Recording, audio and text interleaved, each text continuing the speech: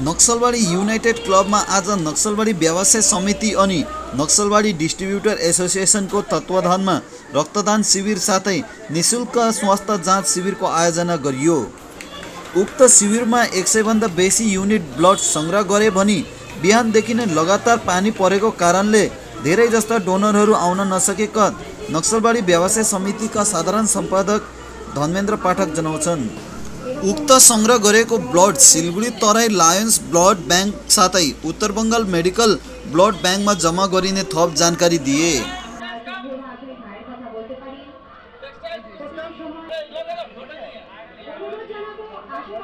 কে নকশালবাড়ি ব্যবসায়ী সমিতি এবং ডিস্ট্রিবিউটার অ্যাসোসিয়েশন সহ বিভিন্ন সংগঠনের উদ্যোগে আজকে আমাদের এখানে নকশালবাড়িতে এই রক্তদান শিবির অনুষ্ঠিত হলো সত্যিই খুব ভালো উদ্যোগ এবং এই ডিস্ট্রিবিউটার অ্যাসোসিয়েশনরা আজকের ডেটে একসঙ্গে সতেরোটা জায়গায় এই ক্যাম্প কিন্তু ওনারা করছেন। তো এটা সত্যি প্রশংসনীয় উদ্যোগ এবং খুব ভালো উদ্যোগ। আমরা চাই এই সময়টা, যেহেতু এখন ডেঙ্গুর প্রভাবও বাড়ছে, মশাবাহিত রোগের উপদ্রবটা এই সময়টা অনেক বেশি হয় সেই জন্য কিন্তু আর রক্তের ক্রাইসিসও এই সময়টা খুব হয়। এই সময় এই উদ্যোগটা সত্যি আমরা সাধুবাদ জানাই এবং ধন্যবাদ জানাই ব্যবসায়ী সমিতি এবং আমাদের ডিস্ট্রিবিউটার অ্যাসোসিয়েশনের সকল সদস্যদের।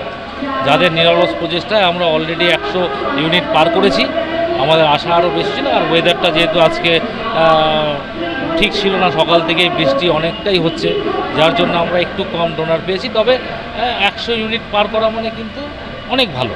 অনেক ভালো ওনারা চেষ্টা করেছেন এবং ভালো উদ্যোগ নিয়ে ওনারা করেছেন এবং ওনারা প্রতি বছরই এই উদ্যোগটা নেবেন। আমার এটা দৃঢ় বিশ্বাস এবং সত্যি আমরা পরবর্তী বছর থেকে আমরাও হান্ড্রেড পার্সেন্ট সহযোগিতা করব ওনাদেরকে এবং ওনাদের পাশে থেকে আরও বড় আকারে ব্লাড ডোনেশন ক্যাম্পগুলো করব। এবং শুধু নকশালবাড়ি নয়, আমাদের প্রত্যেকটা জায়গায় কিন্তু সবাকেই বলছি, সবার উদ্দেশ্যে বলছি, এই ব্লাড ডোনেশন ক্যাম্পটা এখনকার সময় করাটা খুব দরকার। আমাদের অলরেডি মেডিকেল কলেজে অনেকটাই ক্রাইসিস হয়েছে ক্যাম্পগুলো চলছে, তারপরেও কিন্তু অনেক ক্রাইসিস এখন ব্লাডের আছে। আমরা চাই যে এরকম ক্যাম্পগুলো আরও সব জায়গায় শিলিগুড়ি মহকুমা পরিষদ জুড়ে ক্যাম্পগুলো হোক।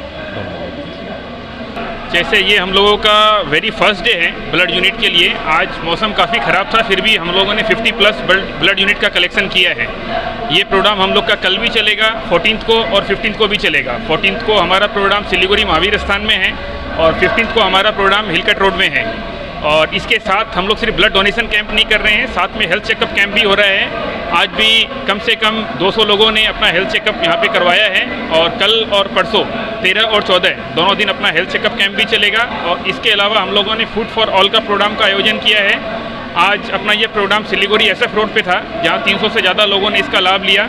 कल हमारा प्रोग्राम 14 को रहेगा, जहाँ पे हम लोग 1000 से 1500 लोगों को खिचड़ी का प्रयोजन हम लोगों ने किया है। और 15th को हम लोगों ने लायंस क्लब के प्रसादम का आयोजन किया है जिसमें 300 से ज़्यादा लोग लाभान्वित होंगे। और 15 को अपना खिचड़ी का भी प्रोग्राम है हिलकेट रोड पे जहाँ पे हम लोगों का टारगेट है 1500 से 2000 लोगों को हम लोग खिलाएँगे। अच्छा लोगों को क्या मैसेज देना चाहेंगे कि रक्तदान देना चाहिए इस, इसके लिए? रक्तदान हमारी नज़र में किसी भी मनुष्य के लिए रक्त से महत्वपूर्ण दान हो नहीं सकता है रक्तदान महादान है।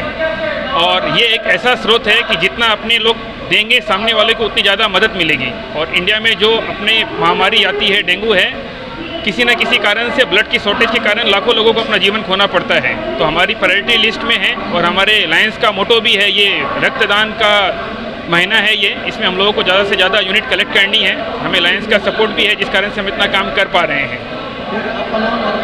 मैं Lions Club of Siliguri textiles का प्रेसिडेंट हूँ और हम लोग ये सारी सेवाएँ लायंस के सहयोग से साल भर चलाएँगे और यहाँ पर नक्सलबारी में आकर यहाँ की व्यवसायी समिति और डिस्ट्रीब्यूशन एसोसिएशन से हमें बहुत ज़्यादा सहयोग मिला है।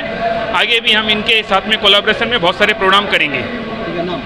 मेरा नाम? विवेक मोर है। आज का जो प्रोग्राम है ये नक्सलबाड़ी व्यवसायी समिति और नक्सलबाड़ी डिस्ट्रीब्यूटर्स एसोसिएशन के साथ में एक साथ में दोनों मिलकर ये प्रोग्राम आयोजन किया गया हुआ है। इसके साथ में नक्सलबाड़ी का और भी, भी जो भी संगठन अपना सोल रूप से जो काम करते हैं सबको इनवाइट किया गया और सबको ही बहुत हेल्प कर रहा है। हम जो हेल्पिंग जो संगठन से सबका हम नाम नहीं बोल रहे हैं क्योंकि बाई चांस किसी का एक छूट जाएगा तो फिर वो ठीक नहीं रहेगा। इसलिए जो भी संगठन है सबको सहयोगिता कर रहे हैं। और ये अभी तक जो है हम लोग का टारगेट तो था 200 करने का लेकिन अभी सुबह से जो बारिश हो रहा है लगातार बारिश हो रहा है इसके चलते हम लोग नहीं पहुँच पाए वो टारगेट लेकिन अभी 110 के आसपास में वो चल रहा है वो और कुछ देर होगा वो 120 25 30 के आसपास पहुँच जाएगा। अच्छा लोगों को क्या मैसेज देना चाहेंगे ब्लड ब्लड डोनेट करना चाहिए इस बारे में? देखिए बिल्कुल दे, करना चाहिए। जस्ट एक एग्जांपल दे रहे हैं मेरी बेटी आज दी पहली बार। तो वो जब 16 साल की थी तो ब्लड डोनेशन कैंप होगा तो आई थी उस समय देने का मन था। लेकिन क्योंकि 16 साल की थी तो नहीं दे सकती थी तो 18 साल हुआ तो उसका ये मकसद था कि मेरा ब्लड डोनेशन हम बिफोर वोटर कार्ड बनाएँगे। मतलब वोट कार्ड मेरा वोटर लिस्ट में नाम उठेगा उसके पहले मैं 18 साल होने बाद ब्लड देंगे। 18 साल होते ही ब्लड देना चाहिए और ये ब्लड देने से एक तो आप हेल्प कर रहे हैं कोई भी अ, किसी का बच्चा जो कि कहीं पे हॉस्पिटल में, में पड़ा हुआ है और ब्लड उसको चाहिए और मान लीजिए आपका दिया हुआ ब्लड यदि वो उसके शरीर में जा रहा है और वो बच्चा बचता है, कल को जाके भारतवर्ष का एक प्रधानमंत्री भी बन सकता है। तो वो परिवार, जो परिवार में वो बच्चा का अहमियत है, उसको जो ब्लड मिला, उसका कीमत आप थोड़ा समझिए। तो आपका ब्लड जो दिया हुआ आज का ब्लड है, वो ब्लड आपका, वो वो बच्चा को बचा सकता है। तो बहुत महत्व है। प्लस इसके साथ साथ ये पवित्र एक दान भी है। इसके साथ साथ जो भी ब्लड दे रहे हैं उनका शरीर में अपना भी कुछ फ़ायदा है। तो अब नया सेल्स बनता है।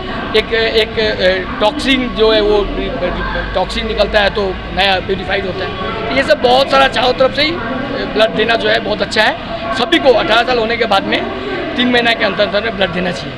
अच्छा ठीक है। धर्मेंद्र पाठक मैं साधारण संपादक नक्सलवाड़ी व्यवसायी समिति।